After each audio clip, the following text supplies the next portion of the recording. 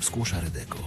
www.redeko.pl Korzeniowski nie zawiódł. Z czasem minuta 55 sekund i jedna setna zdobył srebro. Polak musiał uznać wyższość jedynie mistrza olimpijskiego z Londynu, reprezentanta RPA Chada Deklosa, który popłynął o 69 setnych sekundy szybciej. To pierwszy medal biało-czerwonych w Barcelonie, a trzeci Korzeniowskiego w historii startów Mistrzostwa Globu. Wcześniej na tym dystansie zdobył złoto w 2005 roku w Montrealu i srebro 4 lata później w Rzymie. Jutro Kolejna medalowa szansa. Jednym z faworytów wyścigu na 200 metrów stylem klasycznym jest bowiem Radosław Kawęcki.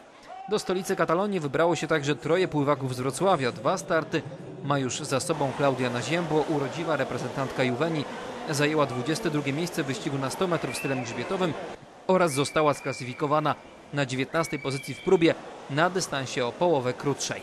Przed Naziębło jeszcze start na 200 metrów. Jutro na basenie będzie można zobaczyć w akcji pływaczkę Śląska Wrocław Annę Dowgiert. Nasza reprezentantka wystartuje w eliminacjach na 50 metrów stylem motylkowym. Na deser pozostaje nam kibicowanie Filipowi Bujoczkowi ze Śląska, który znalazł się w sztafecie 4 razy 200 metrów stylem dowolnym. Mistrzostwa w Barcelonie potrwają do niedzieli.